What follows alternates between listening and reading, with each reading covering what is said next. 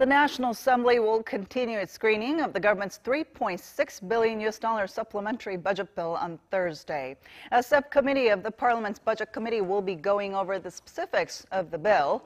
But with just one day left before a scheduled plenary session to vote on the bill, and given that rival parties are at odds over the specifics, it's unclear whether deliberations will be complete on time.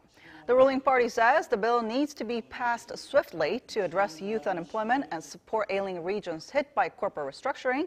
But the main opposition party has called for a cut in the budget, saying some areas have no relevance to job creation.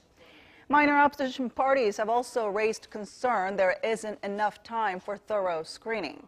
For now, rival parties have agreed to do all they can until Friday and will discuss the matter again from there.